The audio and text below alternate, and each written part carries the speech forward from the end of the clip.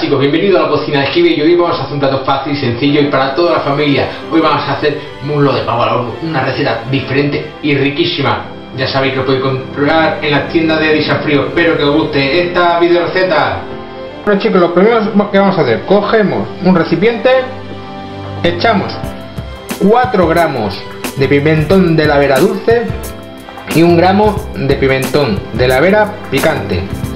Añadimos 50 mililitros de salsa de soja. Y ahora añadimos, hagamos siempre aceite de oliva, oleoe más o menos con 3 cucharadas vamos a tener suficiente. Y lo mezclamos todo bien. Y se lo añadimos ahora a nuestros muslos de pavo. Bueno chicos, hemos cogido una bolsa de congelar, hemos metido dos muslos de pavo, añadimos nuestra salsa en la bolsa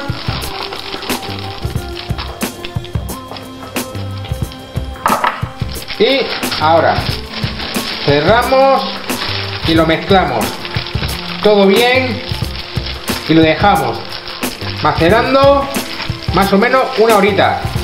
Después lo vamos a, meter al horno y nos va a quedar riquísimo.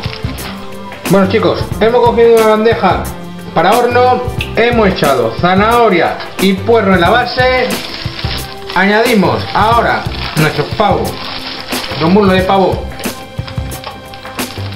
se lo ponemos encima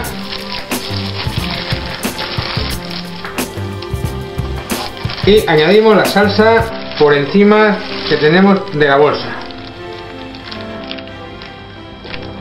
Veréis chicos qué plato más rico y más sabroso nos va a quedar. Muy importante precalenta el horno. Precalentamos el horno.